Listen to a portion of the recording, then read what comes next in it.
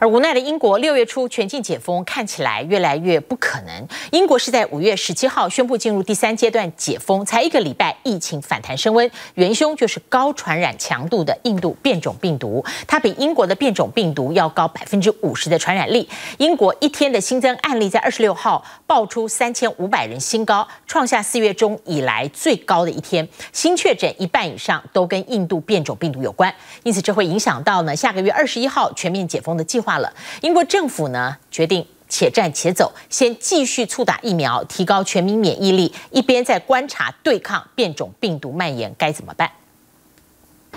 因为印度变种病毒肆虐，疫情反弹，英国原定六月二十一号的第四阶段解封可能因此生变。Uh, we have to. I'm afraid we just have to wait a little bit longer to see what's happening post uh, step three on on May the 17th. 目前，英国境内印度变种病例已经累计将近七千例，过去一周内就增加了超过三千五百宗，而二十六号单日新增确诊人数也来到三千五百四十二人，是四月中以来的新高，还有十人死亡。The variant first identified in India, so-called B1617.2, is still spreading. And the latest estimates are that more than half, and potentially as many as three quarters, of all new cases are now of this variant. 不过，英国卫生大臣汉考克强调，新的感染者中主要是还没施打疫苗的民众。例如，出现最多印度变种病毒个案的大曼彻斯特郡波尔顿市，四十九个入院治疗的患者中，只有五个人打完两剂疫苗。We are working as fast as we can to get people to have.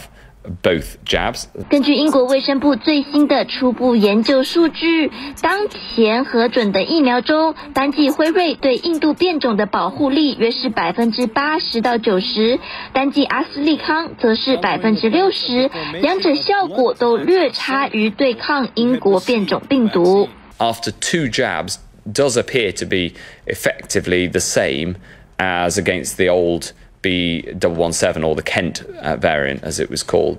英国政府将继续以打疫苗来因应印度变种的蔓延，并在六月十四号原定全面解封日的前一周，根据届时累计的数据，结合专家的意见以及正式的评估，来决定二十一号能再开放到什么程度。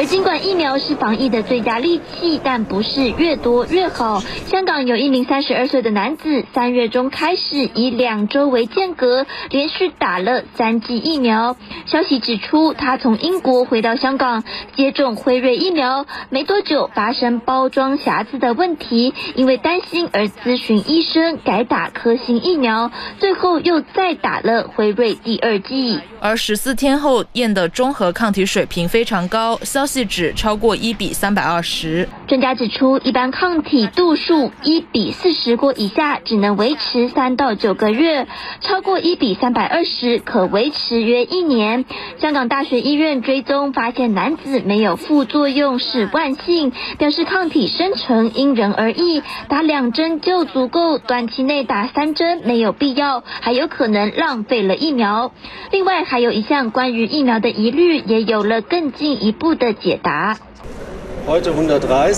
德国法兰克福大学研究小组二十六号公布一份研究报告，表示使用腺病毒载体技术制造的阿斯利康和胶生疫苗会出现血栓后遗症，是因为新冠病毒的棘突蛋白基因透过疫苗进入施打者的细胞核，引发突变。团队相信，药厂只要修改刺突蛋白的基因排序，便可避免出现分裂情况。不过，这项报告还没有通过同台审查，也有其他医学专家质疑，报告没有证据证明棘突蛋白分裂和血栓的因果关系，还需要实验室的实际数据支持才能增加可信度。TVBS 新闻综合报道。